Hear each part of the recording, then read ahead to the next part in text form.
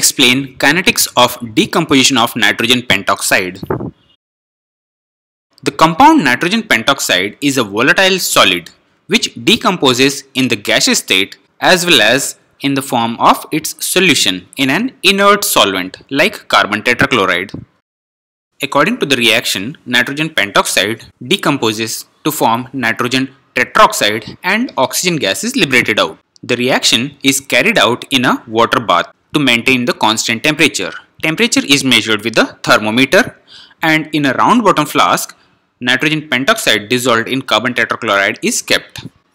As the temperature of the water bath increases, it decomposes, producing nitrogen tetroxide and oxygen gas. Nitrogen pentoxide and nitrogen tetroxide that remain in the solution, while oxygen gas that travels through the tube connected and it is collected in a gas burette. So we can measure the amount of oxygen gas produced that is volume of oxygen gas produced through the gas burette. It can be observed that volume of oxygen collected at time t is dependent on the amount of nitrogen pentoxide decomposed. Therefore, amount of nitrogen pentoxide decomposed that is X is proportional to volume of oxygen gas collected at any time Vt. That is X is proportional to Vt. This is equation number 1. At infinite time, the total oxygen gas collected will depend on the amount of nitrogen pentoxide taken initially. Therefore, amount of nitrogen pentoxide taken initially that is A is proportional to volume of oxygen gas collected at infinite time. That is A is proportional to volume at infinite time. This is equation number 2. Substituting these values in first order equation which is k is equals to 2.303 divided by t log of a by a minus x. We get k is equals to 2.303 divided by t log of v infinite divided by v infinite minus vt.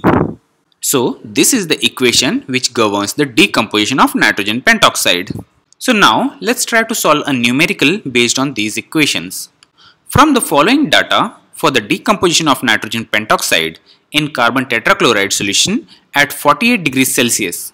Show that the reaction is of first order and calculate the rate constant.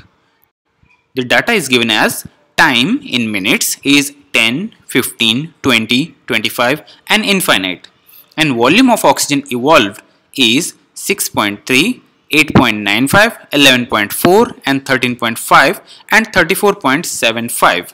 For the reaction to be of the first order, it must obey the first order equation that is K is equals to 2.303 divided by T log of A by A minus X or in this case K is equals to 2.303 divided by T log of volume V at infinite time divided by V infinite minus Vt.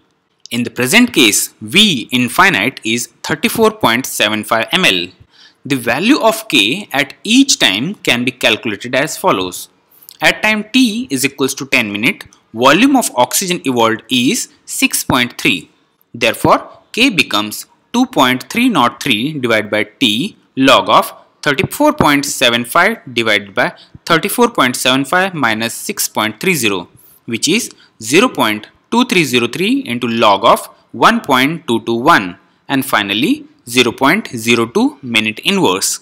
Similarly, at time t is equals to 15 minutes, volume of oxygen evolved is 8.95. Let's substitute these values. K becomes 2.303 divided by 15 log of 34.75 divided by 34.75 minus 8.95 which gives 0.154 into log of 1.347 which is 0.019 minute inverse. At time t is equals to 20 minutes, volume of oxygen evolved will be 11.40. Therefore, k becomes 2.303 divided by 20 log of 34.75 divided by 34.75 minus 11.4 which is 0.115 into log of 1.488 and it comes 0.019 minute inverse since the value of K comes out to be nearly constant. Therefore, the given reaction is of the first order and the average value of the rate constant is 0.019 minute inverse. And if you like this video, please click on the like button and also subscribe to my channel.